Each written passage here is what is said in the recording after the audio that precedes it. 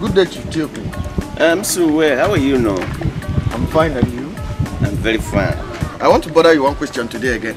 Wonder. This is your question, question, question all the time. No problem. Go ahead. What What is this one again? Chief, between husband and wife, who do you think should name their child? Eh, all of them. All of them can, can name the child.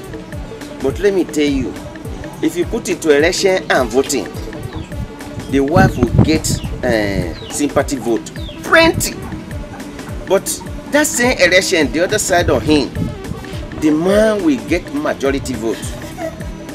One, because the man is the owner of the wife.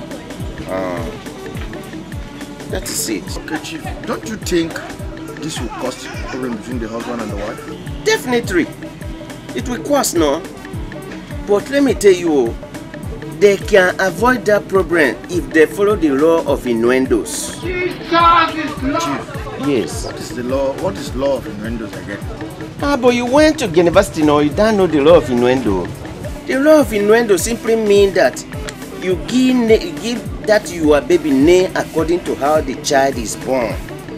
If your wife give birth to a bouncing baby boy or bouncing baby girl, for instance, and the baby girl come out with big lovely eyeballs like my own like this, call her name that will match that eye. Call her Irene. Chief, what if the child is a boy? Ah, if the baby is a boy, no problem. Now you change him, no? You give that baby name Elijah, then it will match the eye. Or you call any Doma person around that is your neighbor. Let them give that child Doma name. Doma know how to give name very well. They will call that again Adej. Do you know the meaning of Adej? No. Is the father of eyes. Then it will match the boy's eye. Bam. Oh, really? Uh, Okay. Uh, But wait, if you want to please your wife, you know women like joining one thing, one thing, one thing, and all the things. If you want to make your wife happy so that you can be happy, give that child name Monica.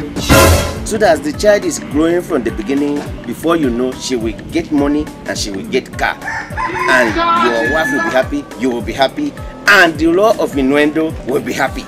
Uh, Thank you very much. Thank you. That will be all for today. Thank you very much.